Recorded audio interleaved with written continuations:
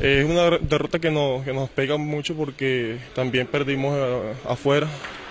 Sabemos que no son equipos eh, débiles, son equipos fuertes con los que tenemos que jugar, pero estamos en casa y en, en casa tenemos que siempre hacer respetar, eh, que respeten nuestro público, nuestro terreno. El sábado vamos a tener un juego en Viana.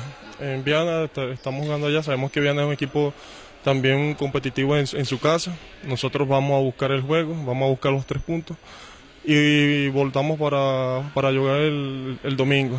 Domingo aquí y, quiero invitar a todos, a todos eh, nuestros fanáticos, a todos los, los, voleibolistas y toda la ciudad que nos apoyen, que vengan el domingo a las 3 pm para el juego contra Académica de Espiño. Pienso que no es el mejor balance, pero tampoco el peor. Vamos a ir mejorando, vamos a ir mejorando y como te digo, la, lo importante ahora es que podamos a, a, mitad de temporada estar entre los primeros cuatro.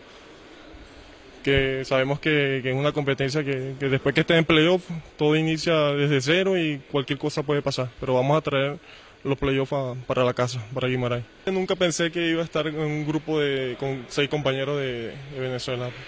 Es un compromiso mayor porque estamos representando a un club, estamos representando a un país y queremos dar siempre lo máximo para, para, nuestra afición, para nuestra ciudad. Yo me siento muy, muy contento en Guimarães.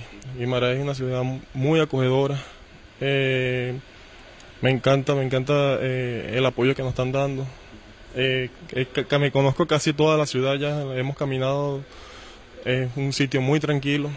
Realmente para nosotros es de lo mejor porque nuestro país no, no tiene tanta tranquilidad como, como la, la estamos teniendo aquí.